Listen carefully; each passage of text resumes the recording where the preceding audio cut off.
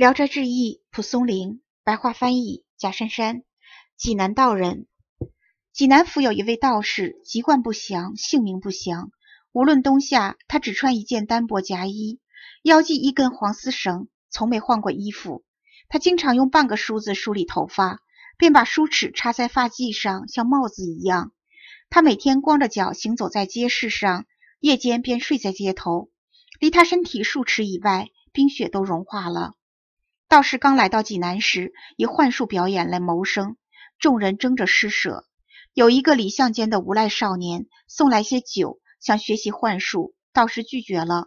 正赶上道士在河边洗澡，无赖突然抱走衣服加以要挟，道士拱手作揖说：“请把衣服还我吧，我就不吝惜交给你。”无赖担心他反悔，依旧抱住不放。道士说：“你真的不还吗？”无赖少年说：“对。”道士默不作声，不久便见黄丝绳变成一条蛇。身粗可达数握，在无赖少年身上绕了六七圈，瞪着眼瞧着他，朝他脸上吐着芯子。无赖少年惊愕异常，神色惊慌，只求饶命。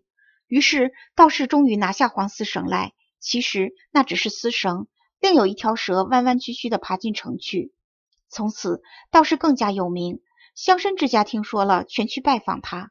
他从此便在乡绅家中往来，司道长官都得闻其名，常请他前去。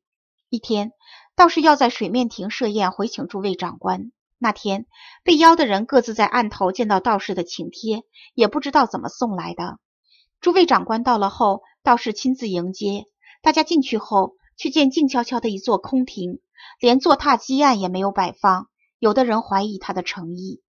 道士看了看诸位长官，说：“贫道没有仆人，请借用诸位的随从帮个忙。”诸位长官都答应下来。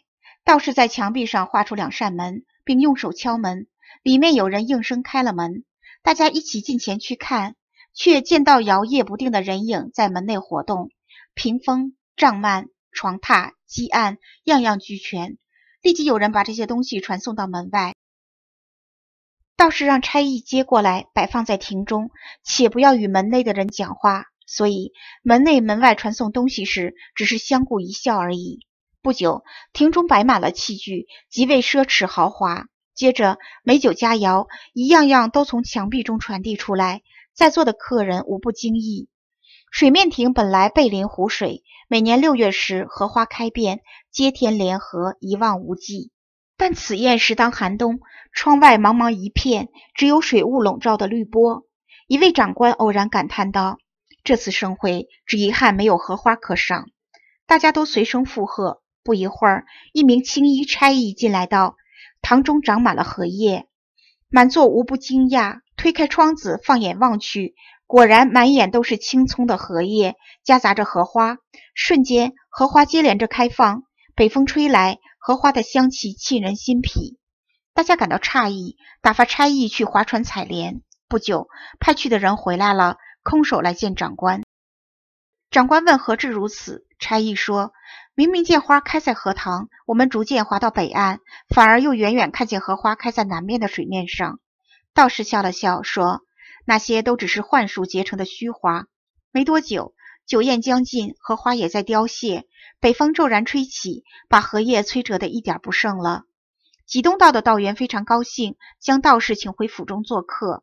一天，道员与客人喝酒，道员一向有家传好酒，每次只请客人喝一斗酒。不肯让人随意多喝。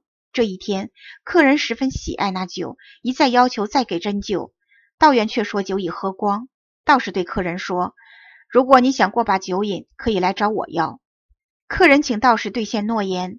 道士把酒壶放在袖子里，不一会儿便取出为大家满酒。那酒与道员家的家藏美酒根本没有两样。众人都痛饮了一番。道员心中疑惑，进屋去看酒坛。没有动过的痕迹，里面却没有了酒。道员心中暗自羞愧恼怒，抓了他拷打。不料棍子刚打下去，道员就觉得屁股剧痛，再打下去，屁股上的肉都绽开了。虽然道士在堂下喊疼，道员却已经血染座椅，只好停止拷打，把道士赶走了。于是道士离开济南，不知去向。后来有人在金陵遇见过道士，依旧是以前的装束。同他讲话，却笑而不语。